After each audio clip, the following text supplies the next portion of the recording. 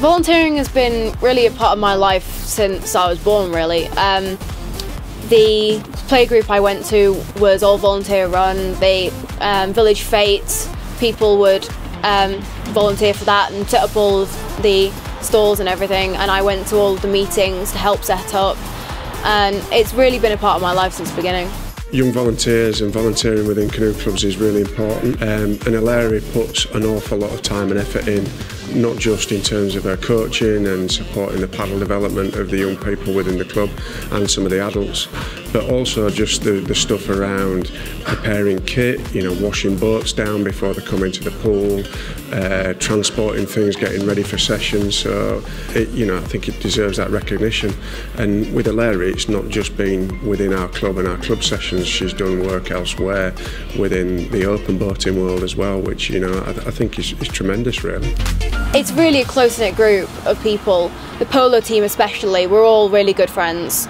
But people, new people are coming into the club all the time, and you over the few over the weeks, you really build up a nice connection with them being a volunteer is essentially being a role model. So you, you are a, leader in that sense. Um, and I think Eleri has really instilled a positive attitude within her own year group as well. Um, her talents uh, are, are, obviously uh, fantastic to see. Uh, and also she's given the opportunity now to give back uh, to sport. So I think she, there's a lot of respect there too. Uh, the pupils understand how much work she puts in and the rewards that she's reaping from it. So uh, I think it's getting more kids interested in wanting to be a volunteer at our school? It's incredibly important because most of the time um, I don't really listen to my dad when he's trying to coach me because um, I know him too well.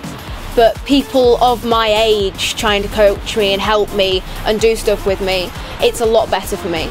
Because it's from a person your age, um, you kind of see how passionate that they are and how passionate you could be.